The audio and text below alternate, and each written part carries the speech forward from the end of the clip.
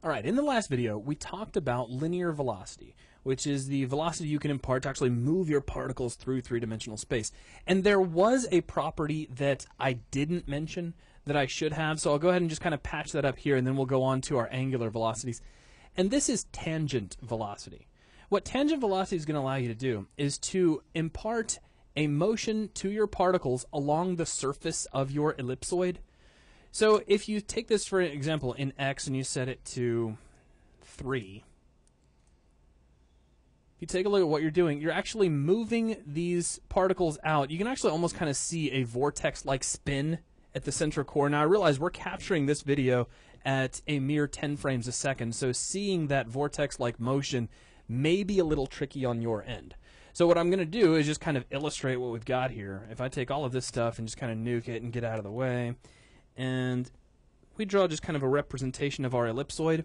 What's going on here is that when a particle is born, we are picking on a tangent direction. Now, if you're unfamiliar with the concept of tangents, like on a circle, in this case, it would be this outermost direction. It's whatever direction the circle happens to be going at any given point. Right. It's the ray perpendicular to the edge or the point at which it intersects the circle. That's right. And it's exactly that type of motion which is being imparted to our particle. So if we get one over here, it would be firing off in this direction. Or if we had one, say, uh, here, it would be firing off in this direction. Again, it's along the surface of our emitter. Right. And if you remember, our emitter is an ellipsoid or a spherical shape and that is why we have particles in the center and it doesn't look like it's it's being spawned from the edge of a uh, circle because it's actually being adjusted or spawned off from various locations throughout the entire ellipsoid.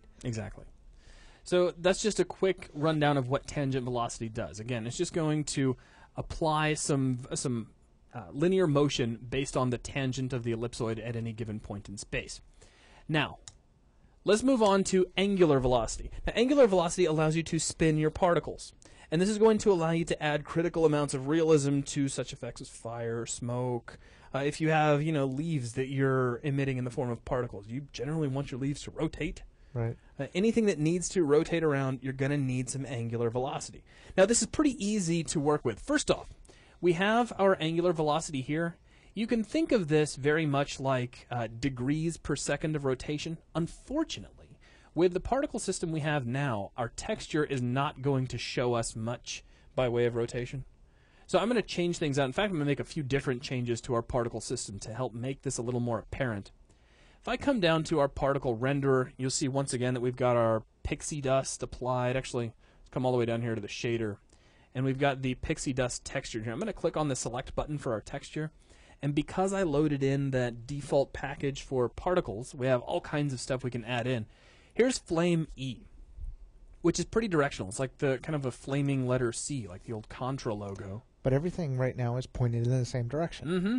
Now, I'm going to make things just a little bit bigger. I don't have to do this. I'm doing it just for the fun of it. Let's go with 0.3 and 0.3. And it's actually starting to look a little bit flame like, but it does look a little strange that all of your particles are not only pointed in the same direction, but they're not turning. And this is where angular velocity comes in. So let's start with angular velocity, which again is it's very much like uh, degrees per second of rotation. So if I set this to 360, we're getting about one full revolution every second. Give or take. I think that's about right.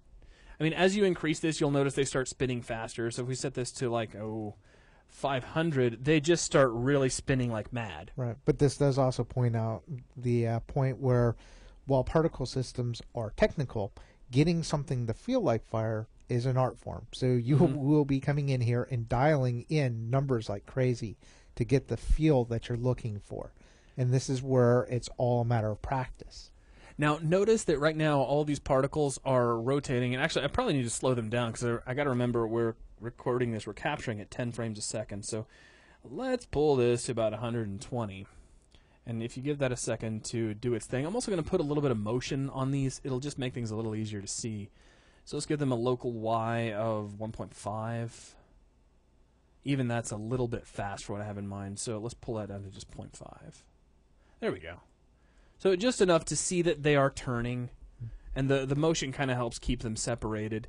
Now, in terms of our angular velocity, a positive value will be a clockwise spin. A negative value, so if we set this to negative 120, notice that the new particles being born are now rotating counterclockwise. But of course, very rarely, and especially in an effect like fire, will you want all of your particles to be rotating either clockwise or counterclockwise. So most of the time, you won't even use angular velocity. Instead, you'll use random angular velocity, and this is a plus or minus value. Right, just like the random velocity was. You set in a number and it's going to rotate between the extreme negative and the extreme positive of whatever number you type in. That's right. And every point in between. So now this actually looks like some sort of ghostly, ethereal Cheerios being lifted up into the air. This looks like actually a really good flame if you had like flame that was snaking up the walls. Right, But- the rolling type yeah, of flame. yeah, but More for like along the ceilings and stuff that you see in yeah, backdraft. precisely, precisely. But for this kind of thing, it's just it's cool for an example, but it's not the most realistic fire in the world. So you can see that again, random angular velocity is causing some of our particles to spin clockwise as fast as uh, 120 or counterclockwise. So it just again plus or minus value. Now next we have random rotation, and to really show this off, I'm going to set my angular velocity back down to zero. And we'll let that kind of normalize. We'll let uh, all of our spinning particles die off. As a matter of fact, let me pull down my emission rate just to get some of the particles out of our way.